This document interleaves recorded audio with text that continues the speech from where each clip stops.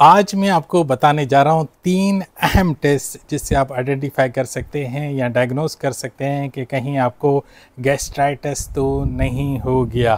तो सबसे पहले नंबर पे जो टेस्ट आता है, वो आता है एंडोस्कोपी।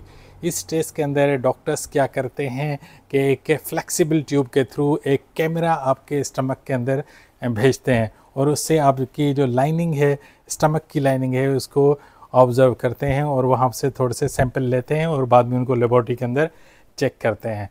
दूसरे नंबर, ये गोल्ड स्टैंडर्ड टेस्ट है। दूसरे नंबर पे जो अहम टेस्ट आता है, वो स्टूल टेस्ट स्टूल टेस्ट में वो ऑब्ज़र्व करते हैं कि कहीं उसके अंदर ब्लड तो नहीं आ रहा। अगर इन्फ्लामेशन अंदर हो चुकी है या इन्फेक्शन हो चुका है तो वहाँ पे चांस है कि आपके स्टूल के अंदर ब्लड आ सकता है। तीसरा जो अहम टेस्ट है, वो है C B C complete blood count test इसके अंदर डॉक्टर ये देखते हैं कि कहीं आपको एनीमिया तो नहीं हो गया due to severe bleeding inside the stomach तो इस से वो अंदाज़ा लगाते हैं कि कहीं आपको स्टमक के अंदर कोई ऐसा इशू तो नहीं है। लेकिन ये भी सपोर्टिंग टेस्ट होते हैं। लेकिन जो सबसे गोल्ड स्टैंडर्ड टेस्ट है, वो है एंडोस्कोपी एंडोस्कोपी से आइडियली डायग्नोस हो जाता है कि कहीं आपको गैस्ट्राइटिस है या नहीं है।